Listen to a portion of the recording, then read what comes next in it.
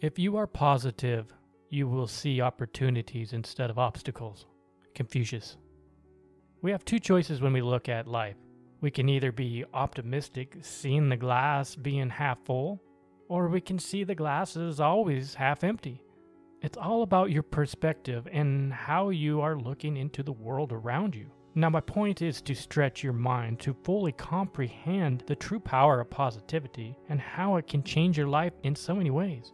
Not too many people remember what it was like being born into this world as a newborn baby, or even how to, you came from the non physical to becoming this fleshy life form. Your mind cannot comprehend this concept of where you came from. But this has everything to do with living a better life. Because let's face it, too many people are living life through their compulsive thinking mind instead of their heart, and this causes people to suffer. When you fully comprehend the science of your existence, how your mind works, and balance it with spiritual philosophies, you will better understand how you can live a better life. How to change your mind to live with the power of positivity instead of being drained by all the negative energy vampires that are infecting our planet, that are slowly sucking the life out of you. Once this happens, you will free yourself from the chains of limiting beliefs and start waking up to a new world, a new future. When a newborn baby awakens into this realm, it is purely conscious being who hasn't been tainted by its outer faculties such as sight, taste, touch, and sound. A baby's mind has not formed into its beliefs of whether the world is good or bad, positive or negative. It just sees the world as it is. Amazing beautiful. It sees the beauty in the ripples a raindrop produces when it hits the puddle, the amazing color of a rainbow. It becomes mesmerized when seeing a butterfly, a hummingbird, a sparrow, and even a spider.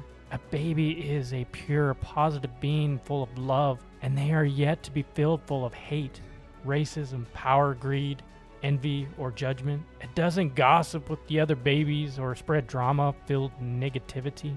It has yet to form any limiting beliefs into its mind on how the world should look. It just sees the beauty of everything as it is. Now, it takes up to eight years for the subconscious mind to become formed, changing the child who once seen through the eyes of Source to seeing through filters, barriers, and beliefs.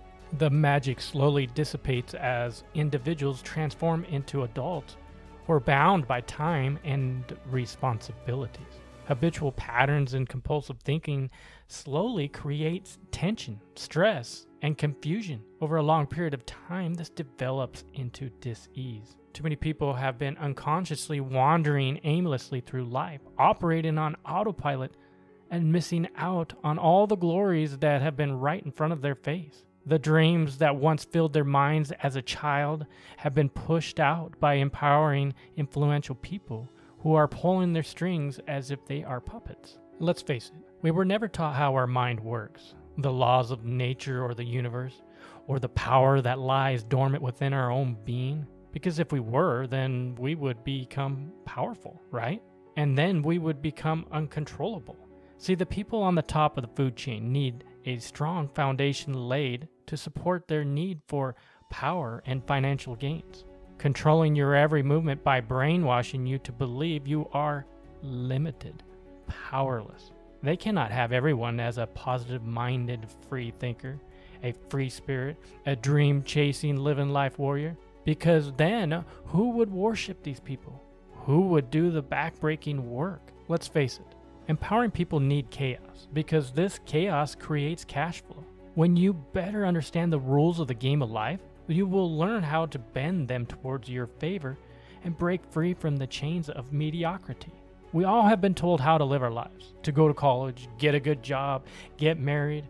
Just follow the rules and play it safe, right? But nobody told us to follow our hearts, to take chances, to chase our dreams. It is no wonder why there are so many lost souls around our planet. People are confused right now because they are trying to be somebody they are not. And this tug of war that is going on between their mind, their heart, and their spirit is causing resistance. And this leads to pain and suffering. Take a look around you. Life may seem like it's really bad, But when you learn to tear down these walls and these barriers that have filled your mind, you will start getting a glimpse of the light. You all were meant for greatness, but somehow you got stuck in a rut, continually repeating the same patterns day after day, week after week, and time is starting to speed up on you. Life feels like it's being sucked out of you because you are either living from the past or bound to how your future is going to look. But when you start living in the present moment, you start noticing that life isn't all bad. When this happens, you gain a new perspective. This is very powerful. There are two sides of everything in life. Call this science, philosophy, or spirituality. It doesn't really matter. You cannot have the good without the bad, light without the darkness, the power of positivity without negativity. There is no getting away from it. The problem is you stop seeing the good in life and have been conditioned to only focus on the bad. But when you wake up and start seeing through the eyes of Source, unfiltered, you will start feeling the power of positivity. You will start realigning with your soul's purpose in life instead of being filled full of fear, anger, negativity, judgmental thoughts. You will start following your heart and doing more of what you love. Now, this new vision of heading down a path of more positivity will not be easy, but through sheer determination and willpower, it can be done. When you start asking the right questions, you gain a sense of clarity. You all have created your identity on who you are or who you are supposed to be. But this is merely an illusion created by beliefs that have filled your mind by influential people and your environment. When you start questioning and contemplating on where your beliefs come from, you will realize that your identity has been made up. You can be anyone you want to be. The problem lies not outside you, but rather within your very own mind. It's time to find what your passions are, what your purpose in life is, why your habits, your patterns, and your compulsive behaviors are controlling you from living a better life. By doing this, you will start reigniting a spark within your very own being, giving you the fuel to change and become the best version of yourself. It's time to break free from the dark cloud of negativity and embrace the power of positivity. Rise up and take your life back.